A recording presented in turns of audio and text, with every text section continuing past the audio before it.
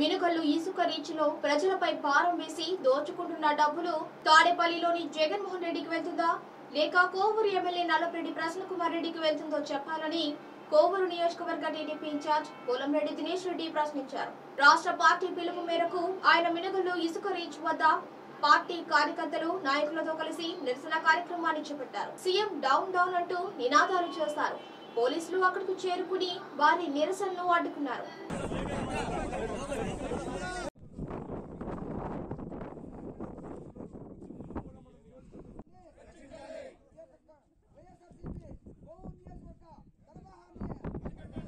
ఇదే మీ రాజ్యం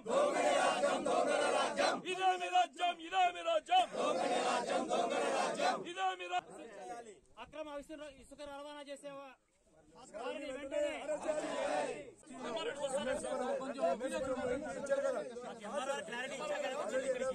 ఆల్రెడీ వెళ్ళాము దాని స్పందన లేదు. ఆల్రెడీ మనము మినరల్ రిచ్ మేము మేము లా అండ్ ఆర్డర్ ప్రాబ్లం ఏం చేయము. మీకు పూర్తిగా కోఆపరేట్ చేస్తాం.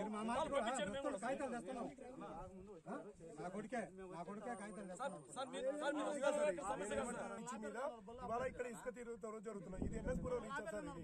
దీని మినకల్ రీచ్. మినకల్ రీచ్ని మేము అడుగుతున్నాము. మినకల్ రీచ్కి పర్మిషన్ ఉందా లేదా అని అడుగుతున్నాము. ఇవాళ ఇక్కడికి వచ్చి పర్మిషన్ రిట్ చేయడం జరిగింది. ఇక్కడ ఆపడం అని పర్మిషన్ కోర్టు ఆర్డర్ ఉండడం జరిగింది. రాజ్యం దొంగల రాజ్యం దొంగల రాజ్యం CM down down CM down down CM down down CM down down CM down down why వన్ డౌన్ డౌన్ వై వన్ డౌన్ డౌన్ వై వన్ డౌన్ డౌన్ వై వన్ డౌన్ డౌన్ వై వన్ డౌన్ డౌన్ వై వన్ డౌన్ డౌన్ వై one down down CM down down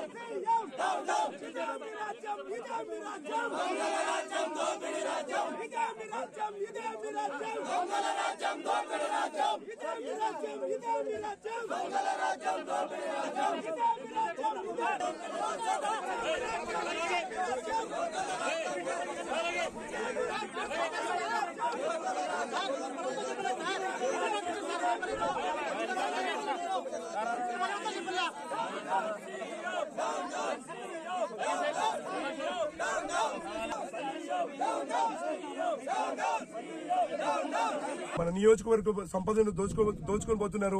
మన జిల్లా సంపదను దోచుకొని వెళ్తున్నారు. మన రాష్ట్ర సంపదను దోచుకొని వెళ్తున్నారు. కేవలం దోచుకోవడం దాచుకోవడము. ఏదైతే ఇల్లు ఉన్న అంటే ఇంట్లో కరెంట్ ఉన్నప్పుడే ఇల్లుని చక్కదించుకోమని ఒక పెద్దల సామెత ఉంటే ఇవాళ ఎమ్మెల్యేలు ఏం చేస్తున్నారంటే రేపు మేము గెలవబోము. ఇవాళ ఎంత నియోజకవర్గ సంపద ఉంటే అంత దోచుకెళ్దామని చెప్పి ఆ వై ఆ వైఖరిలో ఇవాళ ప్రతి ఎమ్మెల్యే వివరిస్తున్నారు వైసీపీ ఎమ్మెల్యేలు. ఇవాళ మేము తెలుగు మేము తెలుగుదేశం పార్టీ తరఫున డిమాండ్ చేస్తున్నాము. ప్రభుత్వం దీని మీద యాక్షన్ చేయాలి యాక్షన్ తీసుకొని ఇవాళ ఇవాళ మన ఉన్నాళ్ళ క్రితము మనకి కోవూరు నియోజకవర్గానికి వరదలు వచ్చాయి. వరదలు రావడానికి కారణం ఏంటి? ఈ పొరుగు కరెక్టర్ల మీద ఉన్న ఇసుకని తవ్వేసే వల్ల ఇవాళ పెన్న వర్షాలు పెరిగిపోయినప్పుడు ఈ నీళ్ళన్నీ కూడా వచ్చి కోవూరు నియోజకవర్గం ఉన్న అన్ని ప్రాంతాల మీద కోవూరు కోవూరు ఊర్లోకి వచ్చినాయి. బుచ్చిరెడ్డిపాలెం ఊర్లోకి వచ్చినాయి. వీటికన్నిటికీ పెన్నుపల్లి మునిగిపోయింది. ఈనంటికి దామర మడుగు. కారణము? ఇవాళ అక్రమంగా ఇసుక తవ్వకాలు చేయడమే. వేలాది కోట్ల రూపాయలు దాదాపు ఆ వరద వల్ల ఐదు వేల కోట్ల రూపాయల నియోజకవర్గ సంపద డ్యామేజ్ అవ్వడం జరిగింది. కారణము? ఇల్లీగల్గా ఇసుక తీసుకెళ్ళడమే కారణము. ఇవాళ పర్మిషన్ ఇచ్చిన రీచ్లు కూడా కేవలం మూడు అడుగులు మాత్రమే తవ్వ తవ్వకాలు చేయాలని చెప్పి మాత్రమే పర్మిషన్ నియమ ఏదైనా ఎక్కడైతే పర్మిషన్ ఉన్న రీచ్లు కేవలం త్రీ ఫీట్ మాత్రమే తవ్వకాలు చేయాలని చెప్పి ఇచ్చే పర్మిషన్. కానీ మీరు ఎక్కడ పడితే అక్కడ ఇరవై ముప్పై అడుగులు లోతులో తవ్వేశారంటే అవి కూడా మనం ఒకసారి ఆలోచించాల్సిన అవసరం ఉంది.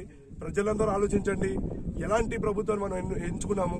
ఇలాంటి దోపిడీ అక్రమాలు చేస్తూ నియోజకవర్గ సంపదని దోచుకొని పోయి మనల్నేదో ఉద్ధరిస్తున్నామని చెప్పిన ప్రభుత్వాన్ని మనము మనం అందరం ఇంటికి పంపించాల్సిన అవసరం ఉంది. ఒకసారి ఆలోచించి నియోజకవర్గ ప్రజలు అలానే రాష్ట్ర ప్రజలందరినీ కూడా కోరుతున్నాను. ఇక్కడ ఉన్న దుస్థితి మీరందరూ కూడా చూడండి. సంపద ఇంతింత మా నియోజకవర్గంలోనే మూడు వందల కోట్లు దోచుకున్నారంటే నూట డెబ్బై ఐదు నియోజకవర్గాలు ఉన్నాయి మన రాష్ట్రంలో. ఎంత డబ్బు మన డబ్బు దోచుకుంటున్నారు?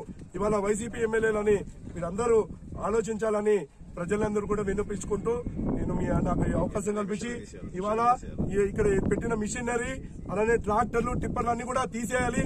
తీసేసేదాకా మేమందరం కూడా ఈ దీని పోరాటం చేస్తామని సందర్భంగా తెలియజేస్తూ పొలరెడ్డి శ్రీనివాస్ రెడ్డి గారిని కూడా రానిలేదు. గృహ నిబంధన చేసింది. దీన్ని అన్నింటినీ నేను ఖండిస్తున్నాను. ఈ చర్యలు హర్షించేవి కాదు. పోలీస్ అధికారులు అందరికీ కూడా విన్నపించుకుంటున్నాము. మీరు చేసే చర్యలు ప్రజలు ఎవరు కూడా హర్షించరు. మీరు ఎందుకు గృహ నిబంధన చేయాలనుకుంటారు వాళ్ళు ఏమన్నా అక్రమాలు చేయడానికి పోతున్నామా? మేము మీద దాడి చేయడానికి వెళ్తున్నామా? మేము కొట్టడానికి వెళ్తున్నామా?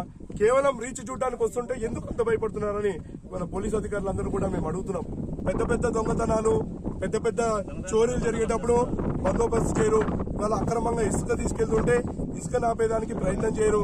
కానీ ఇక్కడ మేము రీచ్ చూడడానికి వస్తుంటే మాత్రం ఇంత పెద్ద బందోబస్తు బెటాలియన్లు తిప్పేసి ఎక్కడికక్కడ మా నీ- మా నాయకుల్ని ఆపే ప్రయత్నము ఆ- ఆ ధ్యాస ఏదైతే ఉందో ఆ ధ్యాస ప్రజల రక్ష మీద పోలీసులు పెడితే చాలా బాగుంటుందని నేను పోలీసులు అందరూ కూడా విన్నపించుకుంటున్నాను.